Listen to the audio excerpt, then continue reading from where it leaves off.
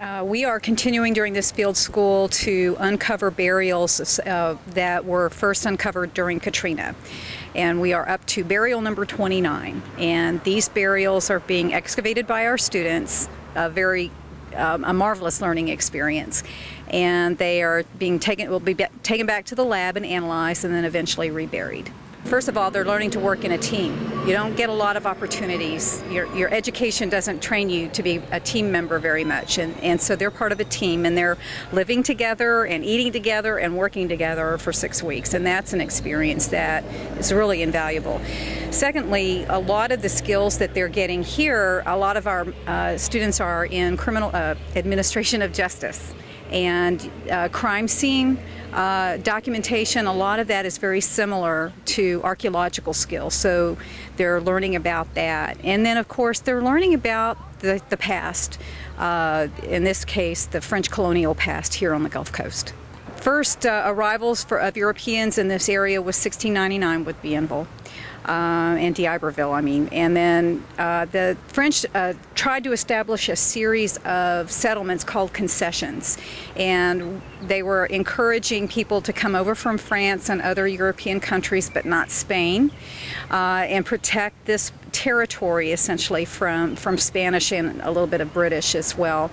And so they had a number of these concessions, and this is the LeBlanc concession.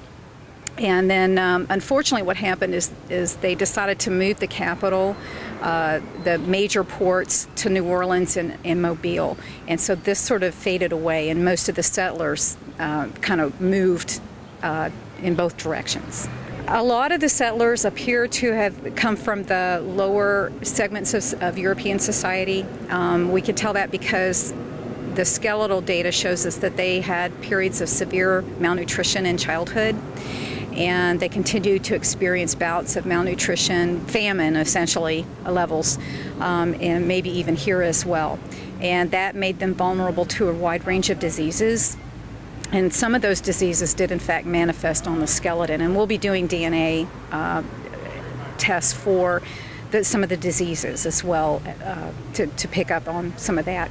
So their conditions were a bit harsh. It was difficult. You know, there's a handful of settlers, most of them were men, a few women, and they're trying to uh, build and get everything they needed to live because they weren't getting a lot from France on the boats. The boats would come maybe two or every two or three years. This area wasn't great for farming, so uh, I would think they were more interested in shipbuilding, trading, um, so establishing ports for trading in the Gulf, and um, uh, they had they were making bricks, but that was probably for forts. They wanted to build forts. The Moran Art Studio was here, and a lot of the coast residents recognize been here for years.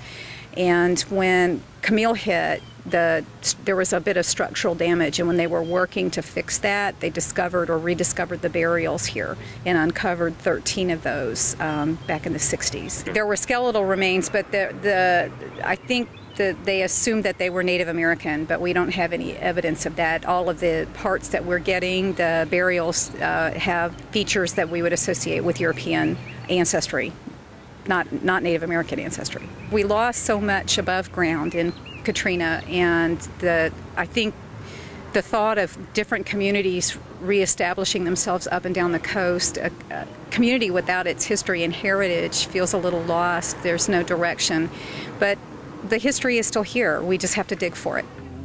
And may the blessing of Almighty God, Father, Son, and Holy Spirit descend upon each one of you and remain with you forever. Amen.